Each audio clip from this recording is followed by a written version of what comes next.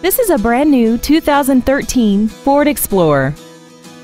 This SUV has an automatic transmission and a 3.5-liter V6.